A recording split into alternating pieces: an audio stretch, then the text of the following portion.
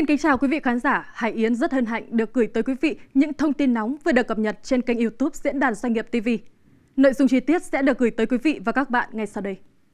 Bất ngờ mức án Viện Kiểm sát đề nghị đối với ông Đỗ Hữu Ca. Vụ án liên quan đến cựu giám đốc công an thành phố Hải Phòng Đỗ Hữu Ca tiếp tục gây xôn xao dư luận khi sáng 11 tháng 4 kết thúc phần thẩm vấn. Trước khi tranh tụng, Viện Kiểm sát Nhân dân tỉnh Quảng Ninh đã công bố mức án đề nghị đối với các bị cáo trong vụ án. Theo đó, Viện Kiểm sát Nhân dân tỉnh Quảng Ninh nhận định bị cáo Đỗ Hữu Ca đã thay đổi lời khai, thành khẩn nhận tội, nộp lại 35 tỷ đồng nhận từ vợ chồng Trương Xuân Đức, có nhiều tình tiết giảm nhẹ nên đề nghị mức án từ 10 đến 11 năm tù về tội lừa đảo chiếm đoạt tài sản. Bên cạnh đó, quá trình công tác, bị cáo Đỗ Hữu Ca được nhận 6 huân chương, 3 huy chương các loại, được tặng thưởng nhiều bằng khen, giấy khen. Nhiều cơ quan ban ngành tại Hải Phòng có đơn xin giảm nhẹ cho bị cáo này. Cụ thể, một số cơ quan nơi ông Ca từng công tác như Công an thành phố Hải Phòng, Hội luật gia thành phố Hải Phòng gửi đơn xin giảm nhẹ cho bị cáo. Chính quyền địa phương nơi ông Ca sinh sống như xã Kênh Giang, Ủy ban Mặt trận Tổ quốc huyện Thủy Nguyên cũng có đơn tương tự cũng theo chủ tọa, trước khi phiên xét xử diễn ra, có rất đông người dân đi ô tô đến tòa gửi đơn xin giảm nhẹ cho ông Đỗ Hữu Ca. Bị cáo Trương Xuân Đức, người đưa 35 tỷ đồng cho ông Ca để chạy án, bị đề nghị 24 đến 30 tháng tù về tội mua bán trái phép hóa đơn, chứng từ thu nộp ngân sách nhà nước và 7 năm đến 7 năm 6 tháng về tội đưa hối lộ. Tổng hợp hình phạt của bị cáo Đức bị đề nghị từ 9 đến 10 năm tù. Vợ của Đức, bị cáo Nguyễn Thị Ngọc Anh bị đề nghị 4 năm 6 tháng đến 6 năm tù. Ở nhóm tội nhận hối lộ, Viện Kiểm sát Nhân dân tỉnh Quảng Ninh đề nghị mức án 6 năm 6 tháng tù đến 7 năm tù đối với bị cáo Nguyễn Đình Đương, cựu tri cục trưởng tri cục thuế huyện Cát Hải và mức án 4 năm 6 tháng đến 5 năm 6 tháng đối với Đỗ Thanh Hoài, cán bộ dưới quyền của Đương. Các bị cáo còn lại, người cao nhất bị đề nghị 18 đến 24 tháng tù, nhiều người bị đề nghị phạt tiền mức thấp nhất 300 triệu đồng, người cao nhất 3 tỷ đồng. Trước đó, trong phiên tòa ngày 10 tháng 4, vợ chồng Trương Xuân Đức và Nguyễn Thị Ngọc Anh khẳng định rằng 4 lần đưa 35 tỷ đồng cho ông ca là để nhờ chạy án, lo giúp thoát tội. Bị cáo Đức khai, tôi chỉ nhớ có 4 lần đưa tổng 35 tỷ đồng, mục đích nhờ anh ca lo xử lý công việc để tôi không bị dính vào pháp luật. Bị cáo Đỗ Hữu Ca thừa nhận 4 lần nhận tổng số tiền 35 tỷ đồng từ vợ chồng Đức nhưng một mực phủ nhận cáo buộc hứa chạy án, nói chỉ giữ hộ để tìm cách giúp đôi vợ chồng này khắc phục hậu quả. Bị cáo ca nhiều lần khai không biết mục đích vợ chồng Đức mang tiền đến nhà mình để nhờ chạy tội. Bên cạnh đó, bị cáo ca khai, Ngọc Anh đến là kêu khóc rất nhiều, nói đi nói lại anh cứu em, tôi coi Đức như em tôi, tôi rất lo cho Đức, nhưng tôi cứu Đức là theo pháp luật. Đã lấy tiền của nhà nước là phải bồi hoàn thiệt hại để nhận được sự khoan hồng của pháp luật. Vợ chồng Ngọc Anh mang đến nhà tôi số tiền rất lớn và không báo trước. Tôi rất bất ngờ, cách chuyển tiền của Ngọc Anh không có địa chỉ đến, không có sổ sách, không nói rõ tiền này tiền gì, không nói rõ số tiền bao nhiêu. Nói rõ hơn về việc 4 lần nhận 35 tỷ đồng, bị cáo Đỗ Hữu Ca phân trần tìm cách cứu nước trên cơ sở quy định pháp luật. Với nguyên tắc đã xâm phạm tiền nhà nước thì phải bồi thường để hưởng khoan hồng, trước bản thân bị cáo Ca không chấp nhận việc chạy trọt. Khi bị cáo Nguyễn Thị Ngọc Anh đến nhà, bị cáo ca nói muốn cứu Đức thì phải hoàn trả số tiền chiếm đoạt nhà nước, chuẩn bị ngay 10% trên tổng số giá trị hóa đơn mua bán để đi khắc phục hậu quả và chuẩn bị thêm số tiền nữa nếu phát sinh thì dùng đến. Bị cáo ca trình bày, tôi không hề nói Ngọc Anh đem 20 tỷ đi chạy tội cho Đức, không nói mang tiền đến nhà tôi. Đây là sự ngộ nhận, hiểu lầm của Ngọc Anh kéo theo hệ lụy khác. Theo bị cáo ca, mỗi lần vợ Đức mang tiền đến nhà mình cũng cập dập như chạy loạn. Lần nào Ngọc Anh mang tiền đến cũng nói, anh cất tiền cho em, anh cất tiền cho em mà không nói rõ là tiền gì. Trong khi đó, khai về mối quan hệ của mình và ông Đỗ Hữu Ca, bị cáo Trương Xuân Đức cho biết, 19 năm qua, công việc nhà anh ca tôi đều có mặt. Không ngờ sau 19 năm trời mà hôm nay anh em tôi phải đứng trước tòa. Tôi vô cùng buồn, buồn lắm. Tôi vào tù vì mua bán hóa đơn, dẫn đến anh ca bị theo. Tôi sống không được, chết không xong. Khi được hỏi về việc đưa tiền cho bị cáo ca, bị cáo Đức lặp lại câu trả lời. Lời khai bị cáo đã có đầy đủ tại cơ quan điều tra, hàng trăm nội dung, hàng ngàn chi tiết nên không nhớ. Lời khai tại cơ quan điều tra của bị cáo là đúng sự thật. Cũng khai trước tòa về mối quan hệ của mình với bị cáo Trương Xuân Đức, bị cáo Đỗ Hữu Ca nói coi Đức như một người em, chân tình trước tòa, ông Ca cho biết Tôi chỉ nghĩ anh em với nhau, trong lúc khó khăn thì cứu giúp nhau. Tôi không hề biết rằng mục đích của Ngọc Anh đem tiền để chạy tội. Cái sai của tôi là mặc định chủ quan, số tiền này là để đem đi khắc phục hậu quả nên không hỏi tiền ở đâu, tiền dùng làm gì.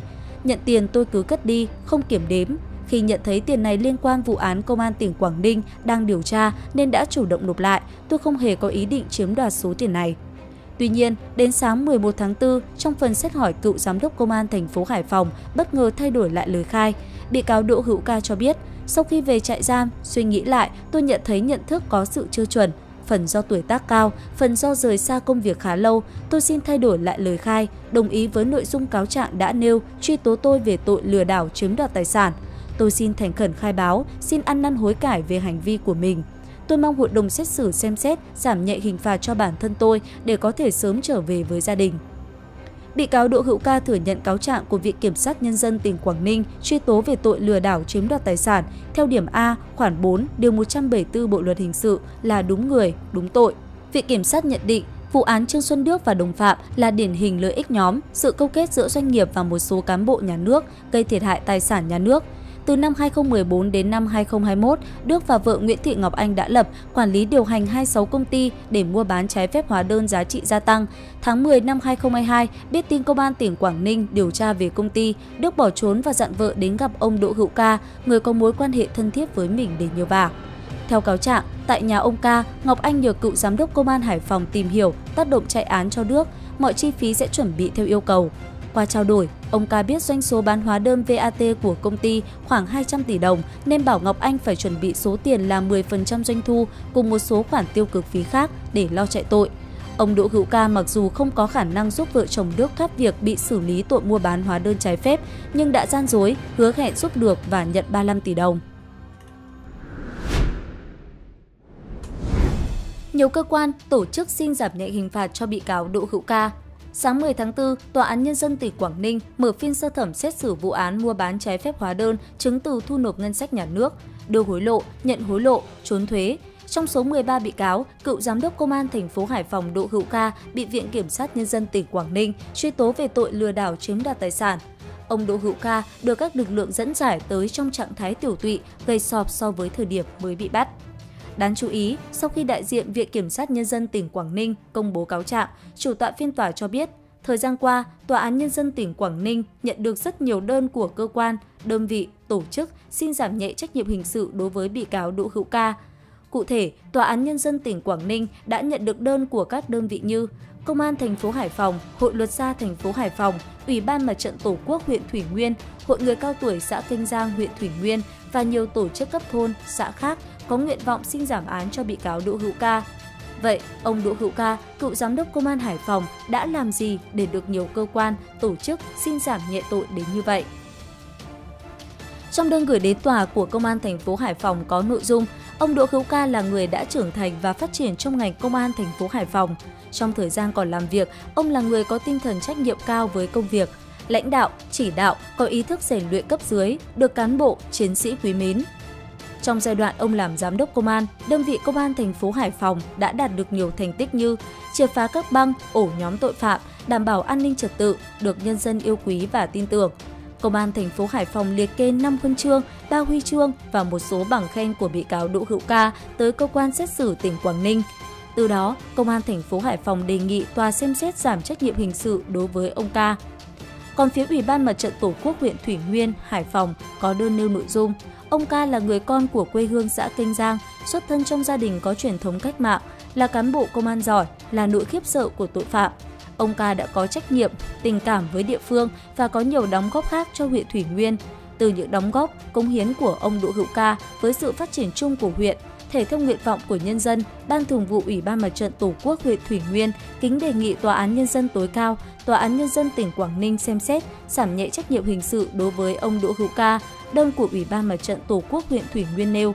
Cũng theo quy định của pháp luật, khi nhận được đơn và các yếu tố được giảm nhẹ, tòa sẽ xem xét, nếu có căn cứ sẽ vận dụng. Một thông tin đáng chú ý khác, theo chủ tọa, ngày 9 tháng 4, Tòa án Nhân dân tỉnh Quảng Ninh còn nhận được một công văn không đóng dấu mật nên được công bố tại tòa. Theo đó, nội dung công văn xin được giảm nhẹ hình phạt cho bị cáo Đỗ Hữu Ca. Công văn này gửi tới Tòa án Nhân dân tối cao, Hội đồng xét xử Tòa án Nhân dân tỉnh Quảng Ninh và Ủy ban Nhân dân thành phố Hải Phòng. Theo cáo trạng, ông Đỗ Hữu Ca có tình tiết giảm nhẹ khi có nhiều bằng khen, thành tích trong quá trình công tác, đặc biệt là đã tự nguyện nộp lại 35 tỷ đồng đã nhận từ vợ chồng Trương Xuân Đức. Nhiều cơ quan tổ chức xin giảm nhẹ hình phạt cho bị cáo Đỗ Hữu Ca sẽ được các cơ quan chức năng xem xét để thấu tình, đạt lý, tuân thủ mọi quy định của pháp luật. Những thông tin vừa rồi đã khép lại chương trình của chúng tôi. Hải Yến rất mong nhận được sự quan tâm và đồng hành của quý vị khán giả dành cho các chương trình trên kênh YouTube của tạp chí Diễn đàn Doanh nghiệp Việt Nam. Đừng quên nhấn chuông theo dõi chúng tôi để không bỏ lỡ bất kỳ thông tin cập nhật nào. Xin chào và hẹn gặp lại!